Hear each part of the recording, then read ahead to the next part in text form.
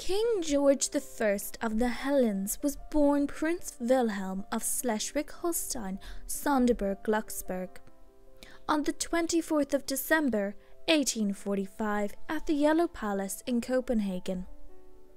He was the second son of King Christian IX of Denmark and Louise of Hesse-Kassel.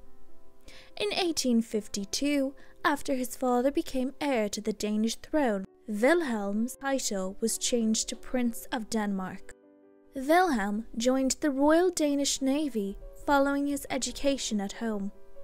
He attended the Royal Danish Naval Academy alongside his brother Frederick. In 1862, King Otto of Greece was deposed. Greece began to look for a new king, as they still wanted a monarchy and had rejected Otto's proposed successor. Initially, Prince Alfred, Duke of Edinburgh, was chosen, but the London Conference of 1832 stipulated that no one from the ruling families of the great powers could accept the Greek throne. Therefore, Wilhelm was chosen as the next king. On the 30th of March 1863, at the age of 17, Wilhelm was elected as king and took the name of George I.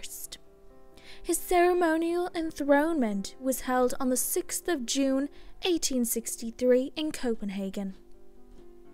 George made visits to Russia, England, and France before arriving in Athens on the 30th of October 1863. He quickly learnt Greek and dispatched his Danish advisers back to Denmark, so as not to appear to be influenced by Denmark. Throughout 1864, George toured the country and demanded that the Greek assembly adopt a new constitution. On the 28th of November 1864, George took an oath to defend the new constitution, establishing a constitutional monarchy. George quickly became popular amongst the Greek people. In 1863, while visiting Russia, George met his future wife, Grand Duchess Olga Konstantinovna of Russia. Four years later, while visiting his sister Dagmar, who was married to the future Tsar Alexander III of Russia, George met Olga again. By this time, George was looking for a wife, and a marriage to a Russian Grand Duchess would be advantageous. Olga was smitten with George and they fell in love. They were wed in St. Petersburg on the 27th of October 1867 and had eight children. Their children were raised in the Greek Orthodox faith. Their children were Constantine, George, Alexandra, Nicholas, Maria, Olga, Andrew, and Christopher. Their daughter Olga passed away in infancy. The king and his family lived primarily in Tatoi Palace, located on a 10,000 acre estate outside Athens, bought by the king in the 1870s. He established a winery, a Danish styled dairy farm, and a royal cemetery.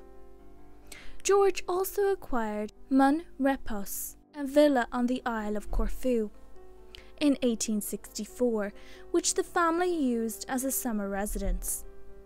It is best known today as the birthplace of George's grandson, Prince Philip, Duke of Edinburgh, who was born there in 1921.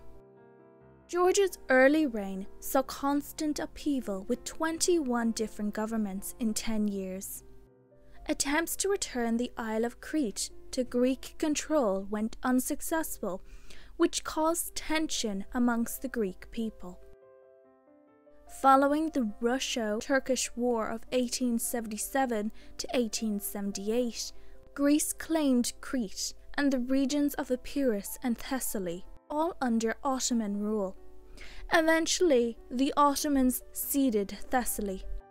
The political climate in Crete remained tense, and the Greek population of Crete revolted against Turkish rule in 1897. The great powers stepped in. Both Greek and Turkish forces were asked to withdraw, and Crete came under international control. While the Turks agreed, the Greek government refused and sent troops to take the island. When forces crossed the Macedonian border, war broke out. Greece lost severely, and following the defeat, King George lost much of his popularity and support and even considered abdication. The following year, in February 1898, an assassination attempt was made on the king and his daughter Maria while riding in an open carriage. Both were unharmed and he received an increase in support. In the First Balkan War of 1912, Greece joined forces with Montenegro, Serbia, and Bulgaria in fighting against Turkey. This time Greece was successful, and on the 12th of November 1912 they took the city of Thessaloniki.